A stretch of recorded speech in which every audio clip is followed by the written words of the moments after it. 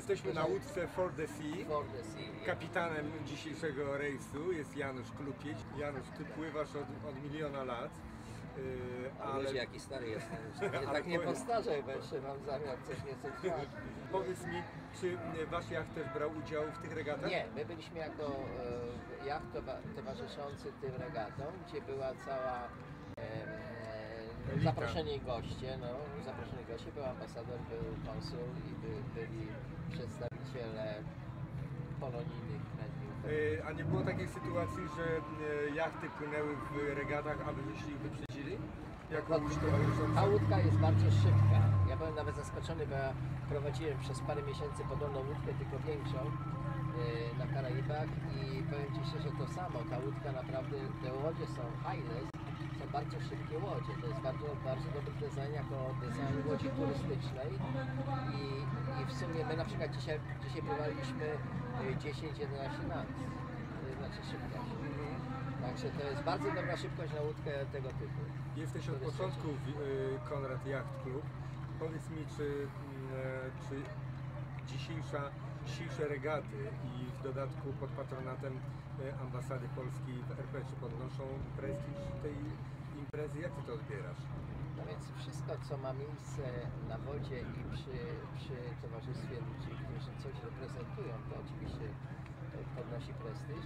E, Chicago, e, ten, ten Joseph Conrad Yacht Club jest e, bardzo dobrym miejscem dla ludzi, którzy przyjeżdżają z Polski nie, i żeglarze z Polski e, i nie mają jakiegoś takiego wstępnego kontaktu e, z grupami, które się e,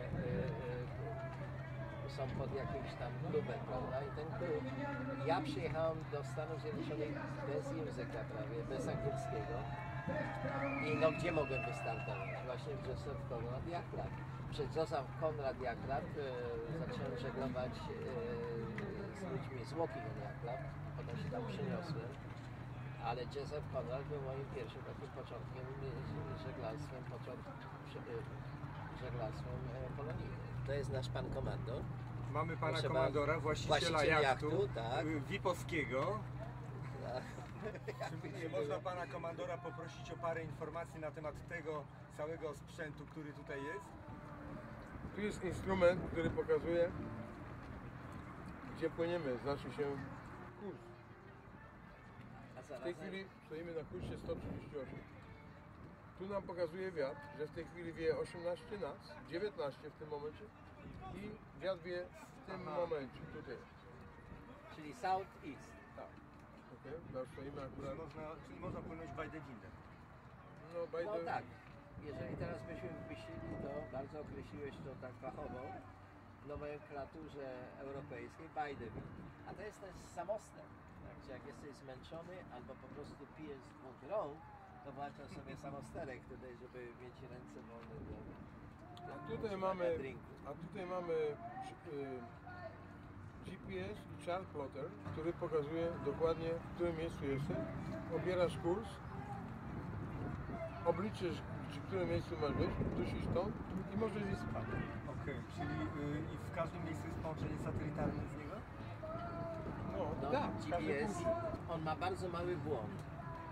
Trzy stopy. Znakomicie. No dobrze, to y, dziękujemy bardzo.